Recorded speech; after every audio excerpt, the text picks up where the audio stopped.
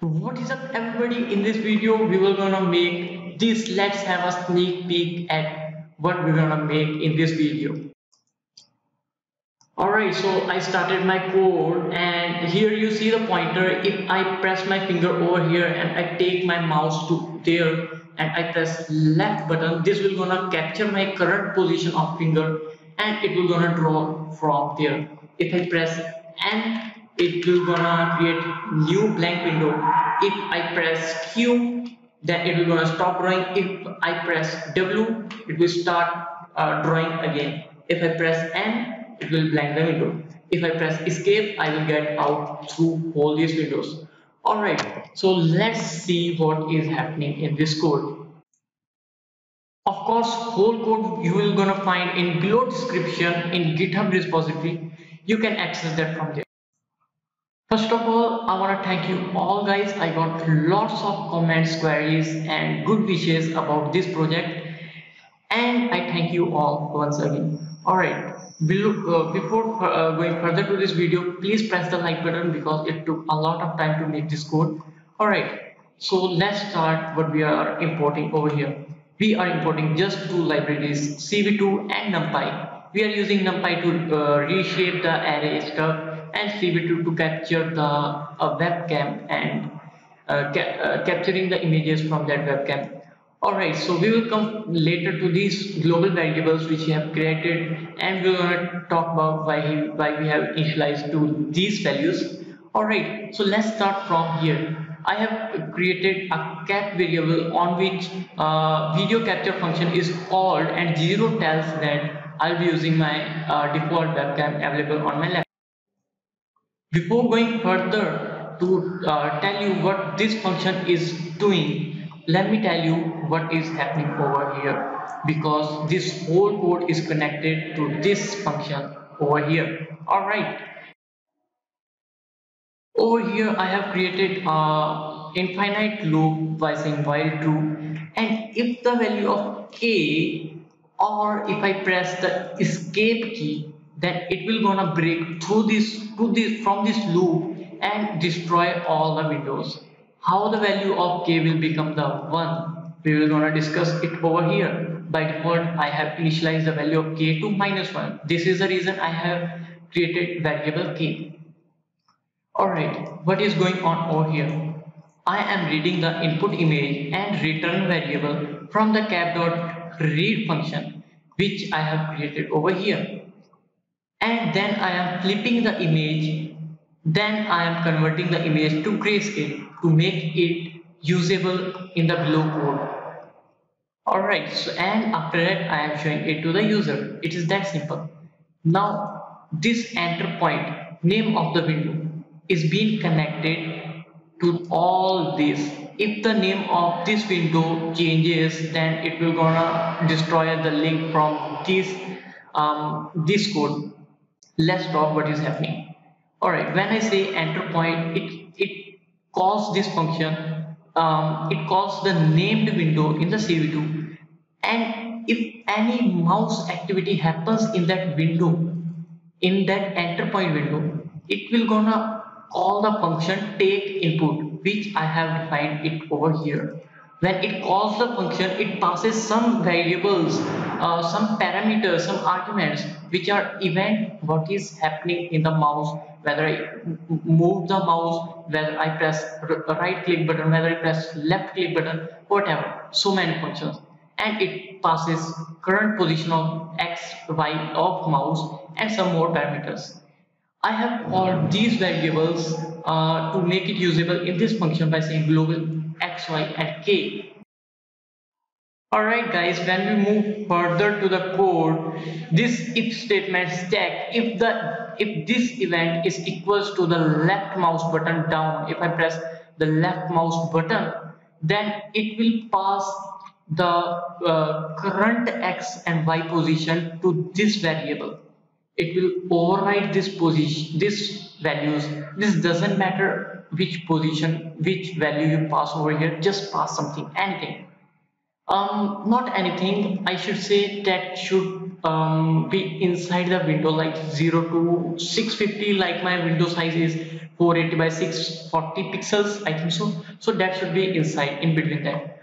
Alright so and this sets value of k equals to 1 so when I am running this loop this will break me out from this loop once I set the current position from that window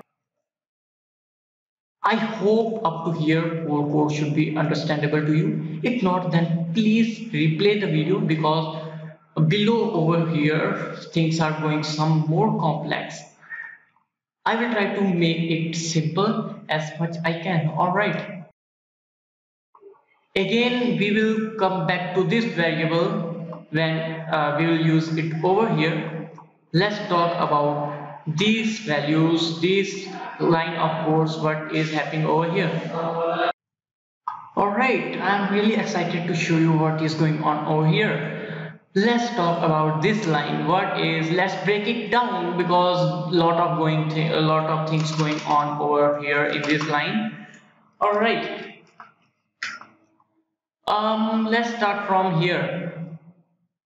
This line converting uh, the values which are inserted in this x and y variable means the current position of mouse which I have used to uh, access the current position of mouse actually. And this stuff says convert this value of x and y to the array and make sure that value is float 32 otherwise this will gonna throw the error. Make sure this says d type equals to np dot float 32 all right so uh, after that i reshaped it. Why i did it? Because this is something which is required by calc opti optical flow um, i think it says lucas optical flow um, okay um, i think it was pyramid Lucas optical flow tracking. Uh, I think that is alright. So I have reshaped. Uh, make sure it is minus one, one, and two. It is always required by it. Alright, so nothing too fancy over here. I just converted this value of x and y to the array and reshaped it to minus 1, 1 and 2. Let's move further. Over here, I have created a window which have size equal to equal to the input image size means 640 by 480 which is the current height and width of my video captured by my webcam. And I have made it blank because uh, all the values in that um, matrix in that matrix in that array is zero. So the window will be blank and it is the size equal to the size of um, the input image Cool. Let's move further. What is happening up to here?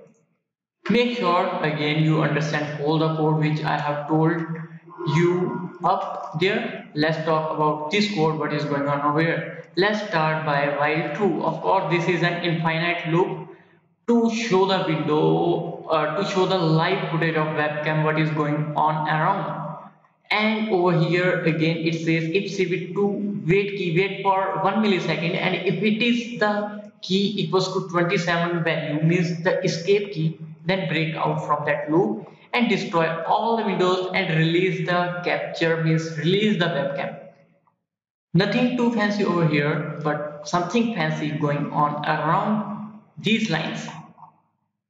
All right. So in this line I have read the frame from that capture object uh, capture variable I'm sorry capture variable and I named it new input image.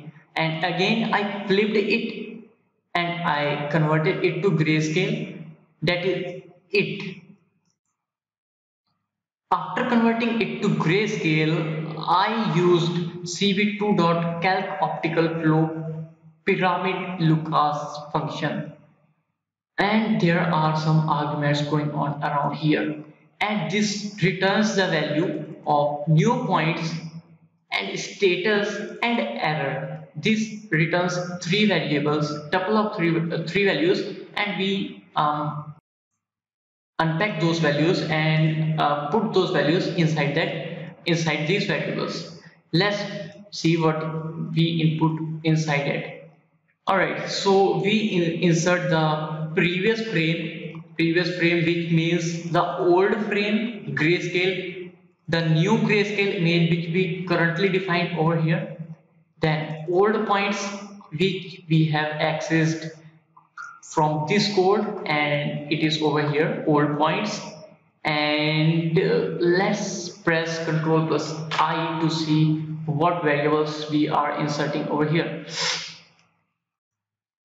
alright so old points and there it says none. None is for um, new points but we wanna extract new points from this function so I will say none because we obviously don't have uh, new points so we will say over here none. And max level. Um, I will definitely uh, link below the resource what max level is doing but in short max level starts from 0 and I think ends to 5 0 means use the original image. 1 says half the resolution. 2 says 1 fourth resolution and so on. And here is the criteria and here it says cv2 term criteria eps and term criteria count. EPS, EPS means epsilon and count means number of iterations you want to perform. More number of iterations of course more number of more amount of time and better the result. Lesser the value of EPS epsilon and faster will be the result but the result will not gonna uh, that accurate. So you that is something which you should uh, be experimenting experimenting with these values. All right so this up to over here we are just drawing on the image let's simplify this code. All right so i say i comma j in zip old points and new points. New point as you can see has dimension of um, minus 1 comma 1 comma 2 all right and old point similarly it have di uh, dimension of minus 1 comma 1 comma 2 and uh, I'm sorry because new points dimension have uh, anything uh, I don't know uh, we will check it later. We will say alright. So old points have dimension of minus 1 1 comma 2 and new point have dimension which are um, given by this function to it. We zipped these values and iterated through a, a for loop and passing those values in i and j variable. And we are using ravel function which is built inside the numpy we are using j dot ravel and i dot ravel what that do? Let me explain.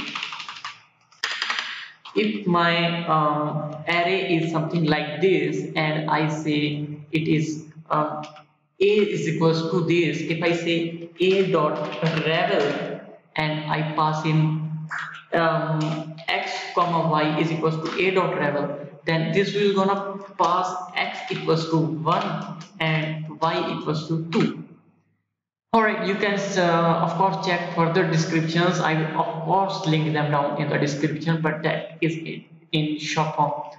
Alright, so we are extracting the values of x and y position and we are extracting the values uh, from this i variable and j variable and passing them x, y and ab. Next, what we are doing, this is uh, not necessary. If you want, you can use them over here. I am just um, waiting for key. If I press Q, then uh, stop drawing. If I press W, start drawing if I press N uh, reset the mask window which we have uh, made over here and it says reset the window create new blank window if okay let's um over here let's come over here stp equals to 0 I have initialized stp variable to 0 means if stp is equals to 0 then draw the line if I press Q then STP equals to 1 then stop drawing the line. If I press W then STP equals to 0 means again start drawing the line. That is it.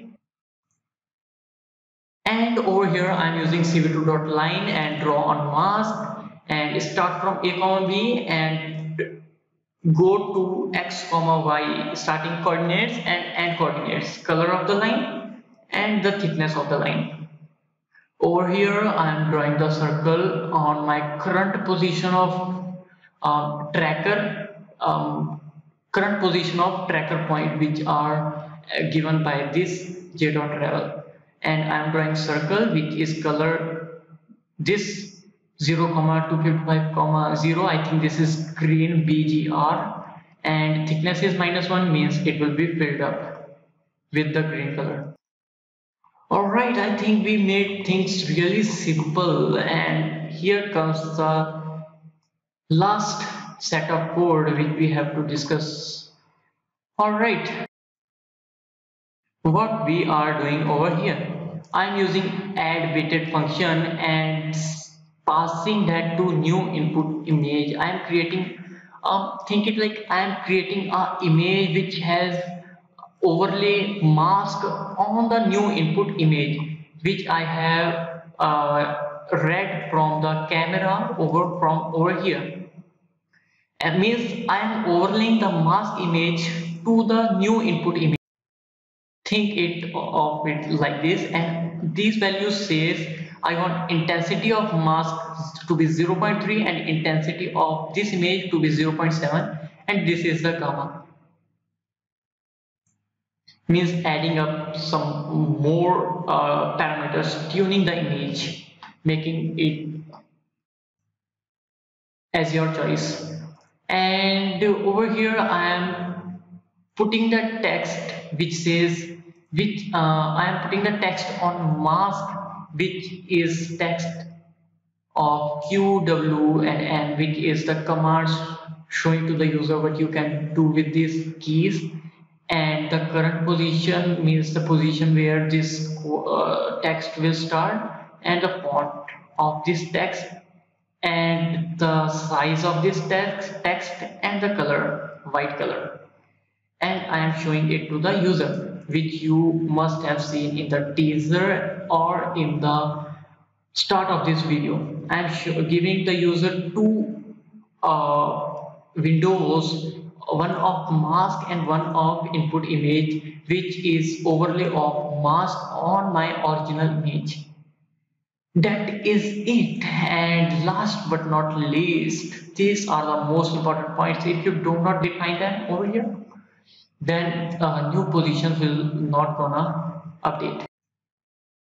Actually what I am doing over here you can see this is a infinite loop and this require old image and a new image.